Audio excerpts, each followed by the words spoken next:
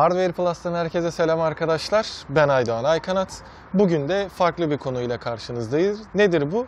Ee, Lenovo'nun Türkiye'deki gruplarından birinin yöneticisi ki en azından gönderiyi şu an görebiliyorsunuz. Ee, Moto Z ve Moto Z2 Play daha doğrusu Moto Z ailesindeki bu Motomod desteğiyle günümüzdeki cihazları karşılaştırmış. Nasıl? Bildiğiniz gibi artık günümüzde e, 3500 ve üzeri hani Sony'yi saymazsak, XE1'i saymazsak 3, 3, 3500 ve üzeri fiyatlarla telefonlar 6100 liraya kadar çıkıyor. E, Motorola tarafında ise nasıl bir şey var? Fiyatları çok daha uygun. Hatta şu an Türkiye'de Moto Z ve Moto Z2 Play'de 2299 TL fiyata sahip. Bu fiyatla e, geçen senenin işlemcisi ya da günümüzün 600'lü işlemcisiyle üst seviye performanslar sağlayabiliyor. E, bu konuda da nasıl bir şey önermiş arkadaşımız? Bir telefona ben 4000, 5000, 6000 lira vereceğime bir tane Moto Z ya da Moto Z2 Play alırım işlemim yani işime yarayacak şekilde de motomodları alarak aslında üst seviye bir telefon haline getiririm. Fazlası da cebimde kalır demiş. Bizim de bu konu hoşumuza gitti ee, ve bunu araştırdık. Yani daha doğrusu oturdum e, dedim bakalım neler var, ne kadar bir fiyata denk geliyor. Bu yüzden de e, Moto Z ve Motomods'larla beraber ne kadar bir fiyat çıktığını, bu motomodlarla beraber hangi ekstra özellikleri kazandığını ve sonuç olarak ne kadar bir fiyata denk geldiğini bu videoda sizlere anlatıyorum. Şimdi fiyat konusuna girmiştim zaten. Moto Z ve Moto Z2 Play 2299 TL Turkcell'deki fiyatı. Yani perakende satış fiyatı diyebiliriz. Ama Turkcell'in şu an için güzel bir kampanyası var. Nedir o? E, Moto Z2 Play ve e, GBL Sound Boost o ekstra hoparlör aparatını e, toplamda 2299 liraya veriyor. Yani Moto Z fiyatına daha yeni ama orta seviye bir cihaz artı çok kaliteli JBL markası bir hoparlörünüz oluyor. E, bu noktada baz fiyatları ben 2299 TL olarak aldım ve Motomos'lara da direkt geçiş yapalım. Kısa süre içerisinde incelemesi gelecek hemen arka cebimden çıkardığım e, Moto 360 kamerası var. Tabii şu an üzerinde kılıfı var ama detaylarını zaten sizlere anlatıyor olacağım. Tek aparatla tık bir şekilde girebiliyor. E, Moto 360'ın fiyatı şu an Türkiye fiyatı belli olmasa da e, 200 dolar gibi bir fiyatı var. 200 dolar fiyatı da şu anki yani en azından bugünkü ki güne bakalım hemen görebilirsem şurada 30'u 30 Ocak tarihine göre 755 TL'ye denk geliyor. E, Moto 360'da 2 adet 13 megapiksellik kamera var. Hem önünde hem arkasında bu, bu sayede de 360 derecelik çekimler sağlayabiliyor. Aynı zamanda çok geniş açılı hani bu e, Samsung'larda işte biraz daha döndürerek daha geniş açılı oluşturabileceğiniz e, fotoğrafları 155 derece açılı fotoğrafları sadece ön tarafına çevirip çekerek balık göz efektiyle beraber çok geniş panoramik fotoğrafları hiç döndürmenize gerek kalmadan sağla, e, çekmenizi sağlıyor. Aynı zamanda dediğim gibi 360 derecelik kamerası var. Bunun da e, detaylı incelemesini yakın zamanda sizlere sunuyor olacağım. Bir diğer dışında e, 755 lira diye söylemiştim. Diğer ürünümüz GBS Sound Boost hoparlör. Şimdi bunun hem birinci versiyonu var hem yeni versiyonu çıktı. Fiyatları da zaten hemen hemen yakın. Ama e, Türkiye'de bu Moto Z2 Play'in yanında verilen Sound Boost hoparlörün fiyatı 400 lira. Piyasada 400 liraya alabiliyorsunuz birinci neslini. İkinci nesli Türkiye'ye gelecek sanırım ama şu anda Türkiye'de resmi girişini yapmadığından 76 dolarlık bir fiyatı var yurt dışından aldığınızda. Bu da 287 liraya denk geliyor. Ee, yani isterseniz 287 liraya yurt dışına ya da isterseniz 400 liraya çünkü vergiler biliyorsunuz zaten o muhabbeti. 400 liraya ekstra bir hoparlör alabiliyorsunuz ve bu da ciddi manada e, bize ekstra şey katıyor. Hatta e, hatırlarsanız yine vlog olarak paylaşmıştık sizlere. E, Lenovo burada bir yılbaşı partisi diyebileceğimiz bir yılbaşı tebriğine gelmişti. O sırada da bizde o müzik çalarken Moto Z ve e, GBL Sound Boost hoparlörü kullandılar ve gerçekten ayrı bir Bluetooth hoparlör kullanıyor gibi ciddi bir e, ses kalitesi sağlıyor bu cihazlarla beraber. Ee, bunun dışında InstaShare projeksiyon cihazı var. Biz onu da kullanmıştık burada. Yine o etkinlikte projeksiyon cihazıyla da işte e, Lenovo'nun kendi e, eklediği video klipler vesaire dönüyordu. Bu da bildiğiniz projeksiyon cihazı. Arkasına taktığınız anda bir projeksiyon 480p kalitesi var. E, 550 500 lümenlik bir e, aydınlatması var. 400'de bir e, kontrast oranı sürüyor. 1100 mAh'de içinde ekstra bataryası var ki üzerine batarya sağlayabilsin. Bu sayede de karşıya ya da uzaklaştıkça çok daha geniş görüntü olabiliyor tabii. Her ne kadar görüntü kalitesi biraz düşse de çünkü 480'i daha geniş ekranda oynatmak biraz düşürür. Ama dediğim gibi evdeyken direkt duvara yansıtıp ya da perdeniz varsa perdeye yansıtıp güzel bir e, sinema ortamı kurmak için şey yapabilirsiniz. Ama bu noktada ufak bir önerim olacak. E, Lenovo'nun da hatası bu hatta.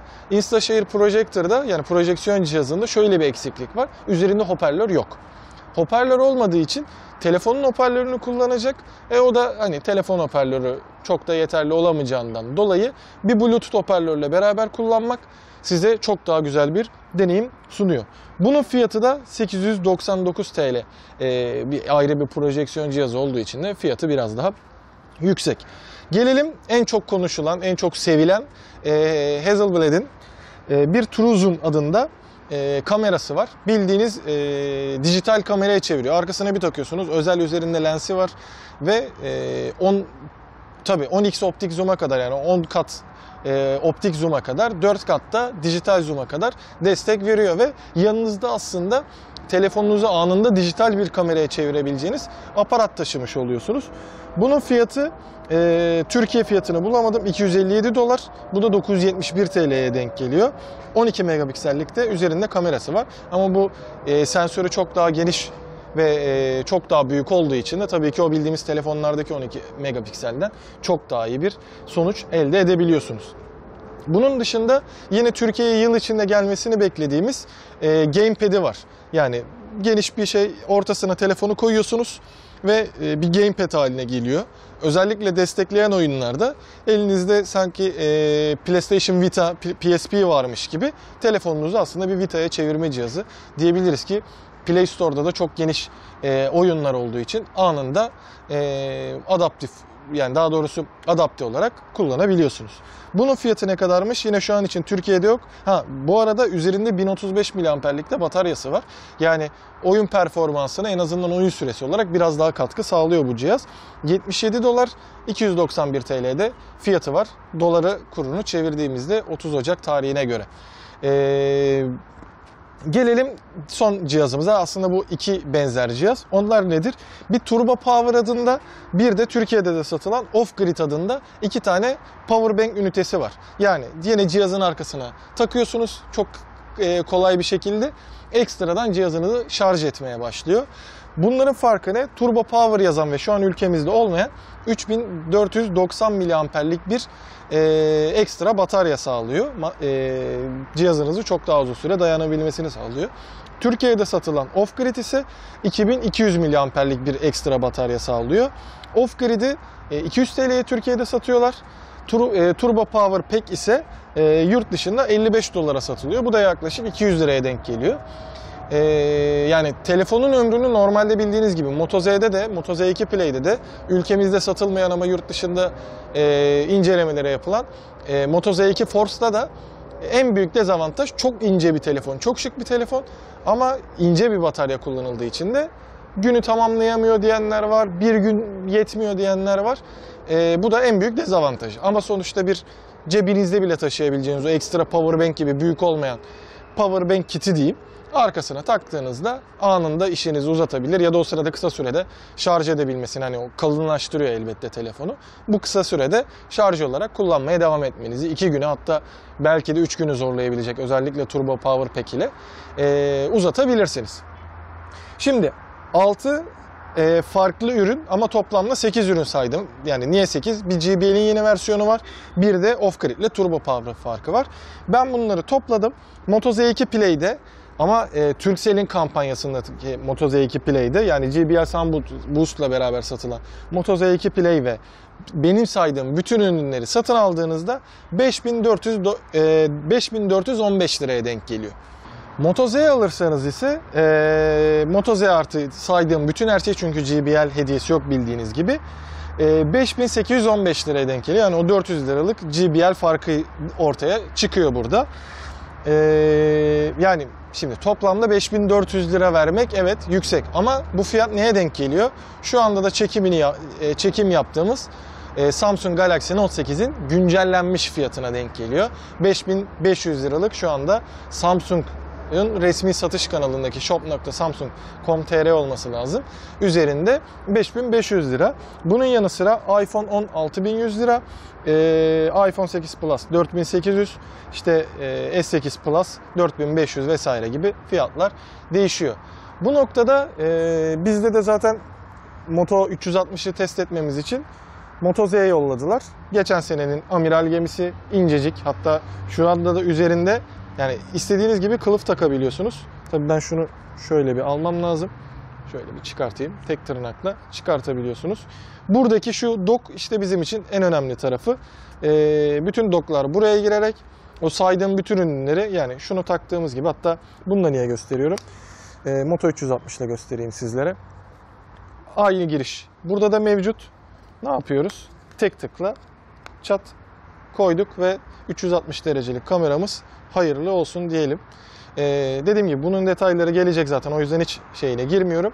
Bu mantıklı mı sorusu bizim için gerçekten düşünceli yani düşünmemizi sağladı. Neden?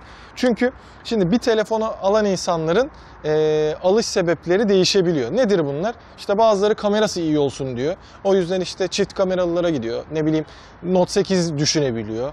iPhone 10 düşünebiliyor. iPhone 8 Plus düşünebiliyor. E, Huawei Mate 10 Pro düşünebiliyor. Bazıları diyor ses kalitesi iyi olsun. Bazıları diyor işte görüntü kalitesi iyi olsun. Ama sonuçta elimizdeki cihazlar bunların hepsine cevap verebiliyor. Çünkü kamerası iyi olsun işte geniş açılı çeksen derseniz Moto Z ya da Moto Z2 Play'in üzerine e, 200 dolar daha ekleyerek e, bir 360 kamerayı alabilirsiniz. Ki yakında Türkiye fiyatı da açıklanacaktır. E, gider alırsın. 700 lira 800 lira bir fiyatı olsa bile e, 360 derecelik çekim yapabilen bir telefonun olur. Çünkü ekstra bir cihaz olmadığı için hem o cihazı tut hem telefona bak gibi bir durum yok. Çektiğin anda karşında görüyorsun. E, ses önemli benim için diyorsan, hani hoparlörü iyi olmalı o telefonun diyorsan ki zaten Moto Z2 Play'in kulaklık kalitesi de gayet iyi. Biz test ettiğimizde bunları e, sizlere aktarmıştık. GBL Sound Boost hoparlör kullanırsın. Bu sayede de ses kalitesi çok daha iyi seviyeye gelir. İşte kamera önemli de değil de o geniş açılının yanı sıra Hasselblad'in True Zoom'u var. Bildiğin dijital kameraya çeviriyorsun. Bu da çok mantıklı bir hareket. Ne kadardı? 971 lira. Hadi biz 1000 lira diyelim.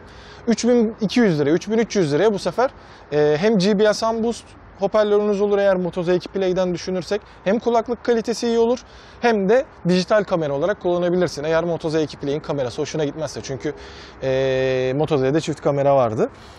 E, oyun oynuyorum ben diyorsan gamepad'ini alırsın oyun zevkini arttırırsın. Aynı zamanda üzerine çünkü e, 1100 mAh'lik bir batarya eklediği için de oyun süresini de uzatacak. Yani zaten az gidiyor, şarj sorunu var vesaire demezsin. E, ben ekstra power bank almak istiyorum. Yani sonuçta her telefon artık bir gün falan gidiyor. Eğer bazı cihazlar dışında ikinci günü zorlayanlar zor çıkıyor. E, e, Moto Z'nin bataryası düşük ne yapacağız o konuda dersen 2300 verir. Üzerine 200 TL daha verir. 2 güne çıkartırsın direkt. Bir de sürekli takılı kalması gerekmediğinden hani o powerbank gibi sök tak da yapman gerekmediğinden telefonun arkasına takarsın. İşte bir kafede oturuyorsan ya da o sırada çalışıyorsan kenara koyarsın. 1-2 saat bekler, çıkartır, çantana, cebine atar. Telefonu yine ince bir şekilde kullanmaya devam edersin. Bu biraz önce gösterdiğim arka kılıflar da değişebiliyor bu arada. O da şimdi aklıma geldi. Hani onun tahta vesaire farklı farklı versiyonları da var. Orada da kendinize göre de tarz da yaratabiliyorsunuz. Bakayım unuttuğum bir şey var mı? İşte projeksiyon cihazı o biraz daha ekstra biraz daha böyle işin eğlence tarafı. Hani benim de bir projeksiyon cihazım olsun diyen çok fazla çıkmaz ama işte ee, telefondan rahatlıkla işte ekstra bir cihaza bağlamadan e, video izleme, film izlemek istiyorsanız da onu da tercih edebilirsiniz. Yani düşündüğümüzde özellikle Moto Z ekseninde düşünürsek oldukça mantıklı geliyor bana. E, bu konuda sizin görüşleriniz de tabii ki önemli. Hani siz gidip işte Galaxy S8, Note 8, iPhone 10, işte e, ne vardı Huawei Mate 10 Pro gibi üst seviye, yüksek fiyatlı, o 4000 üzeri fiyatlarla satılan cihazları mı ya da mesela Motomod desteği sayesinde Moto Z, Moto Z2 Play, Moto Z Force olabilir eğer yurt dışından alırım ben garantisi çok benim için mühim değil diyorsanız. Bu cihazları alarak motomodlarla birleştirip kullanmak mı? Ee, bu yorum, bu konu hakkındaki yorumlarınızı yorumlar bölümünden bizlere aktarın. Gelin tartışalım. Sizin için hangisi ya bence almışken hepsi içinde olsun. Ee, işte ben Note 8 alacağım memnun ya da aldım memnunum. Ama aslında ya çok mantıklıymış diyenleriz. Ve en önemlisi de Moto Z ailesinden kullananlarınız varsa ya ben kullanıyorum gerçekten çok mantıklı işime yaramadığını da kenara koyuyorum vesaire gibi yorumlarınızı e, bizlere aktarın diyelim. Başka bir Hardware Plus videosunda da görüşmek üzere. Kendinize çok iyi bakın efendim. Hoşçakalın.